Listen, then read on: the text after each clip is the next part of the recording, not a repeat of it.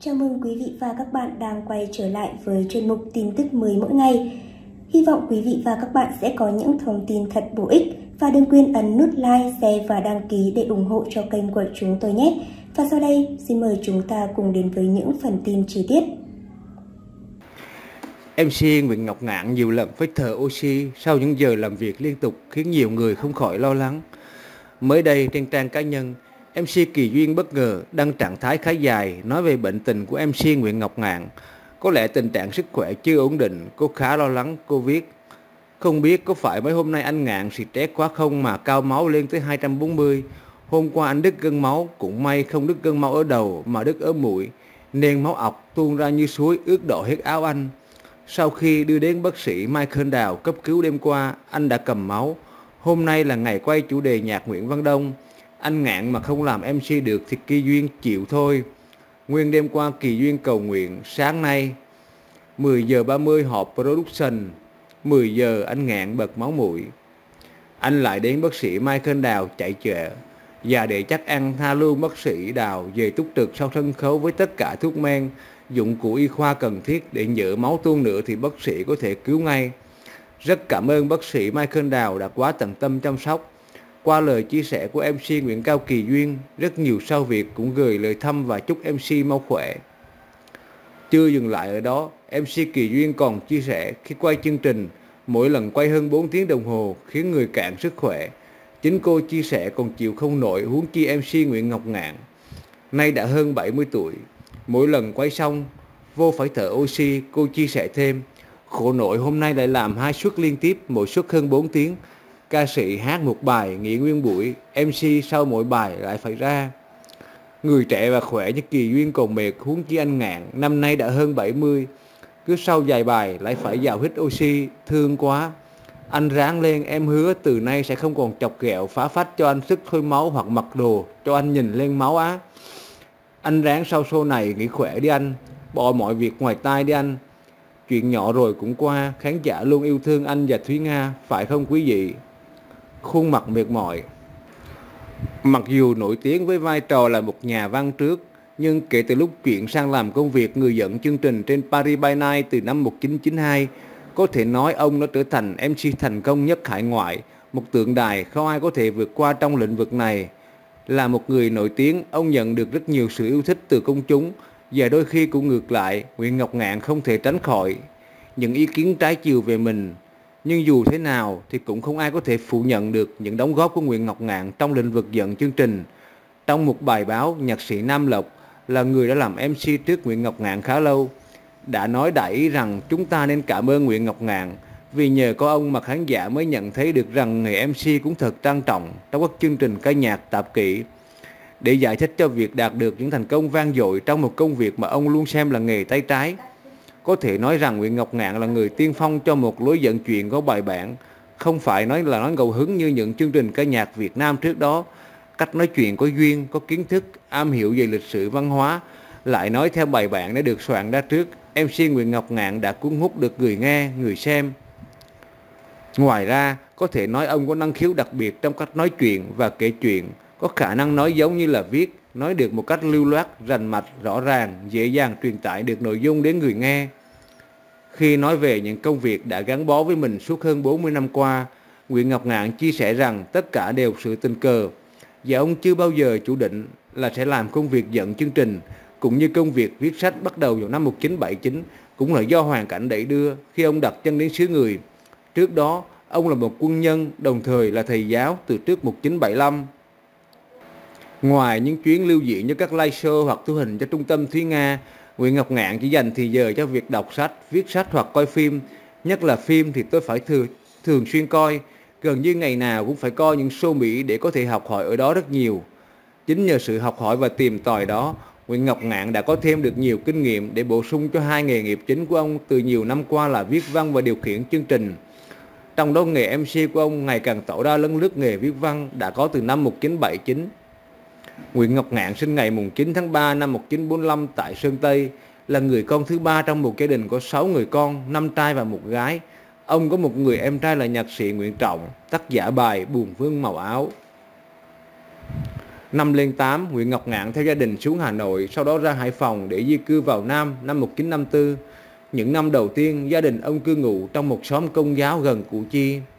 Nhờ có một trí nhớ tốt cùng với một đầu óc quan sát tinh tế từ khi còn nhỏ, những sinh hoạt diễn ra trong cái giáo xứ nhỏ bé và nghèo nàn thời đó đã in sâu trong đầu một cậu thiếu niên chưa quá 10 tuổi.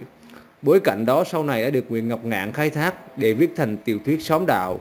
Trời sinh cho tôi được một trí nhớ rất là đặc biệt, tức là có những chuyện gì tôi đọc qua hoặc tôi nghe người ta kể qua một lần thì có thể mấy chục năm sau tôi vẫn nhớ.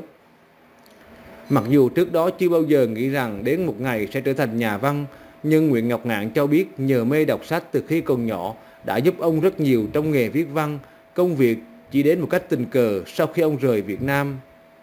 Nhân sự kiện, MC Nguyễn Ngọc Ngạn có mặt tại Orange Coffee, phóng viên Đức Tuấn đã có cuộc gặp gỡ riêng với ông để có cuộc phỏng vấn xoay quanh câu chuyện 20 năm sân khấu của Nguyễn Ngọc Ngạn.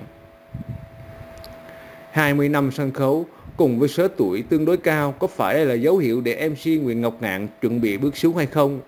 Nguyễn Ngọc Ngạn Thực sự MC Nguyễn Ngọc Ngạn đã có ý định nghỉ từ giả sân khấu khán giả sau 5 năm tôi làm MC cho trung tâm Thúy Nga rồi, chứ không phải đợi đến ngày hôm nay. Tôi nhớ một kỷ niệm nhỏ khi trung tâm Thúy Nga mời nhạc sĩ Hoàng Thi Thơ để thực hiện cuốn Paris by Night giới thiệu sự nghiệp của ông. Paris by Night 41, tôi có nói với ông Lai là tìm người khác làm MC thay thế tôi. Nhạc sĩ Hoàng Thi Thơ tưởng lầm là tôi có hiểm khích gì với ông nên tôi không chịu làm. Nhưng thật ra tôi muốn nghỉ làm MC để chú tâm vào việc viết truyện và thu băng đọc truyện. Tội nghiệp nhạc sĩ Hoàng Thi Thơ lên tận Las Vegas nơi tôi đang làm show để điều đình với tôi.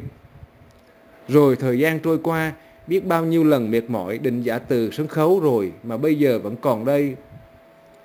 Nội dung chính của đêm nhạc hội kỷ niệm 20 năm sân khấu Nguyễn Ngọc Ngạn là gì? Nguyễn Ngọc Ngạn Thực sự nói về 20 năm sân khấu tức là nói về kỷ niệm trên các chương trình Paris by Night và kỷ niệm qua những chuyến lưu diễn cùng với anh chị em nghệ sĩ. Chưa kể tôi cũng muốn nhắc đến các nhạc sĩ tôi đã từng có cơ hội làm việc chung mà bây giờ đã nằm xuống chẳng hạn Nhật Ngân, Giang Phụng, Hoàng Thi Thơ, Châu Kỳ, Tùng Giang, Thanh Sơn và mới đây là nhạc sĩ Trần Trịnh. Rồi còn những gặp gỡ khi tôi thành lập nhóm kịch Thúy Nga và viết kịch bản cho họ diễn.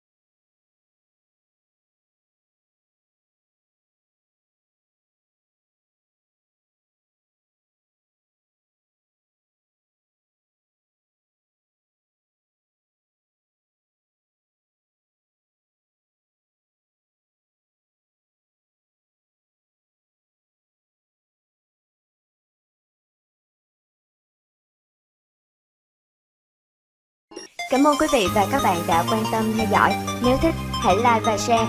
Và đừng quên bấm nút đăng ký tại đây để xem thêm nhiều video hấp dẫn hơn của chúng tôi. Xin chào và hẹn gặp lại.